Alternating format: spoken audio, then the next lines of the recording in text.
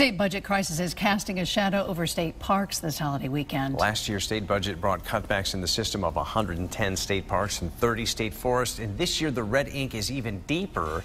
Chief political correspondent Mark Davis live tonight with more. Mark. Hi, Darren and Ann. Good evening, everyone from the Hartford Newsroom. People visit Connecticut state parks between 8 and 9 million times a year.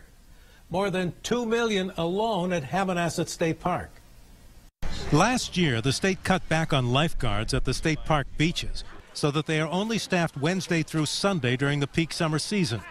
There are only about 35 park maintainers for the entire state park system after the layoff of 12 earlier this month. One state rep says the cutbacks mean fewer lawn cuts. It was kind of chilling to see every single campsite with grass knee high the Malloy administration has already announced that some state parks will have what they describe as passive management, which really means little to no maintenance.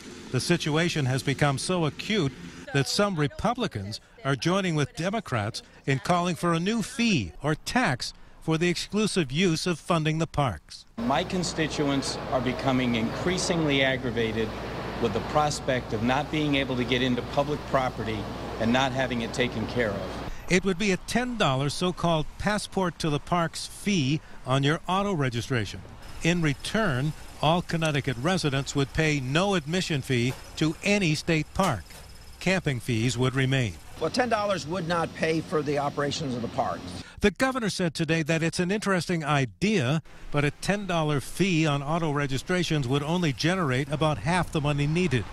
The Speaker of the House said today that the leadership is committed to the parks but it is all subject to budget negotiations, which remain in flux. We don't have a budget at all. I, am not sure those parks will be open on July 1st.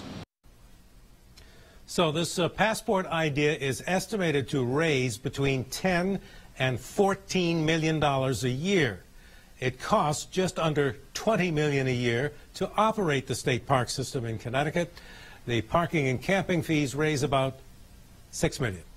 Live from the Hartford Newsroom, Mark Davis, News 8.